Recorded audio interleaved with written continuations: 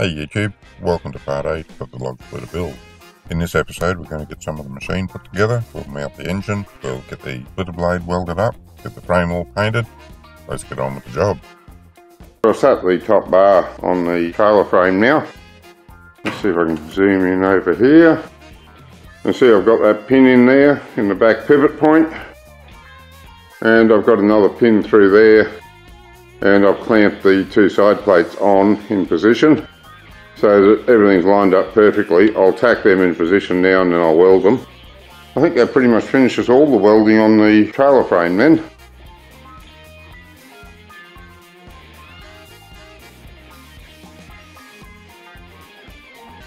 I'll just finish welding them now. I've shifted it around so I've got something of an angle to work on.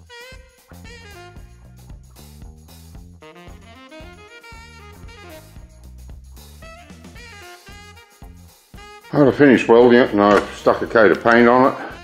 I can start assembling the pieces of the engine and pump, hydraulic reservoir, etc. on the trailer tomorrow. Alright, now time to put him together. These are a couple of pins that I had left over from the front end loader project. Made a couple too many, so they're coming in handy for this job here. I've drilled them to take a R-clip, simple R-clip just to hold them in. I'll lift the main beam down onto the trolley. Yeah, I think I'll do that first and then I'll put the motor on. Oh dear. Oh, it's a bit heavy. Yeah, I think I can, I think I can.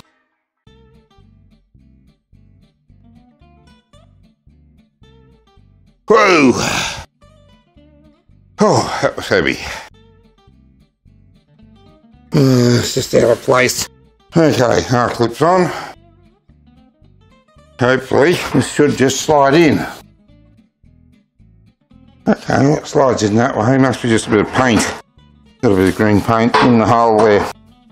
Now it's got it. R-clip on that side, he's not coming off. Uh, okay, he's there to stay.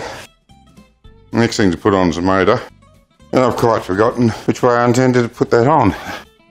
I'll have to go and have a look at the plan. Right, see if we can fit the engine hope that the bolt holes are in the right spot.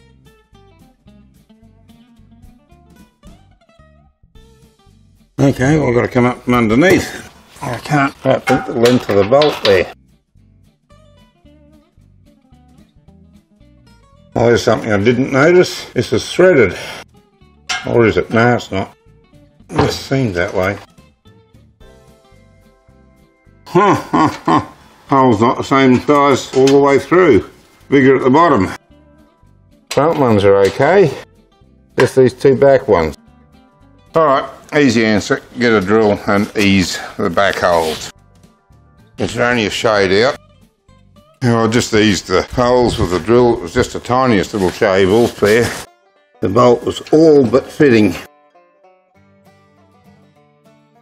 Okay, that was the two that had to be right.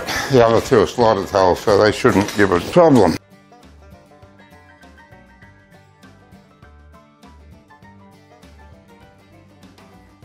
There's the engine mount. The hydraulic ram can go on next, so I can sort out the splitter plate and finish that. And I think that's the right way. I want the hydraulic ports on this side. Pump will be on that side. I'll probably end up using it from this side. So if I have the handle on this side, I will want the ports around this other side.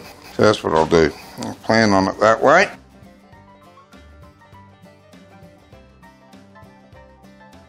There we go, hydraulic cylinder in place.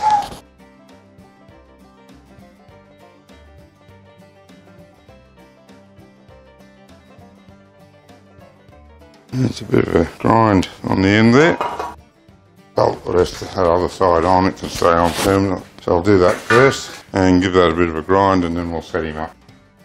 I've ground that a little bit smooth around to the edges. Now I've just got to work out dead centre for him. Got 80 that side, 74 that side, so it goes a little bit that way. That's not working too well. That's the other way now. 76 each side. There's dead centre. a little tack on him to hold this front edge.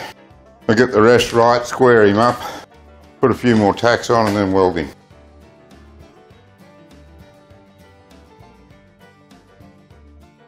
That's good. Then needs to go over just a bit.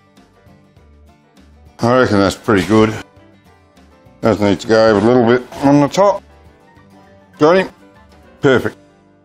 Yeah, perfect. Well, The thing to do now is take that off and see about welding him up really solid. Just reinforce that tack, I think, before I take it off. Make sure that didn't pull. Mm, no, good. Take him up, get some welds on him. I'm going to run some multi-pass over this. I'm using some 4mm 6010 for the first pass because I want to try and get as much penetration as I can. I'm running it at about 135 amps and the rod's rated 110 to 155 so we'll see how we go at 135. Might need some more amperage on that, eh? Up a bit higher. There we go up there. Bring and do a run down the other side. Have a look and see how that weld looks and decide where I go from here. Now I want to lay a nice bevel in there. Don't think the 6010 is going to do me any more favours. Okay, I've got some 3.2 mil, that's uh, 1 8 of an inch 7024 rod here. I'm running it up about 170 amps and just lay some bevel in here with this.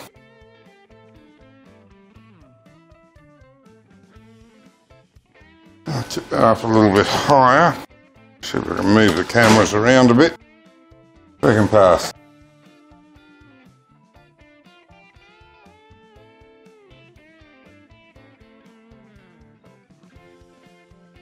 Just tossing up whether I put another few runs down each side or whether I call it good enough. There's some real nice wells. I think I might let that do. Might just put another bit in there at the back. See what I can do with that. Yeah, that should do that. Now, because I took the lazier approach to beveling this front off, I didn't leave the little piece in the centre there to meet up with this. So now I'm going to try and fill that up with weld. At least good enough so nothing gets under it and tries to help lift that off. See how we go. Need a little bit more, but it'll have to be with a thinner rod and a lot less amperage. Probably a thin 7018, I guess, what I got to work with. So I thought the edge is too thin to get any sort of weld on that. So that will have to do. I'll have to just work it with a grinder if it needs any more. Have to let that cool a bit now. Now I'll grind off the spatter. Right, that can cool. thanks for taking the time to watch this video. Do hope you enjoyed it. If you'd like to download plans, they're available on my website, but just remember I'm not an engineer these plans have worked for me. Your mileage may vary, so use appropriate cautions. If you'd like to see more of my projects, you can go to my channel or browse to my website. Don't forget to click like, comment and subscribe for more.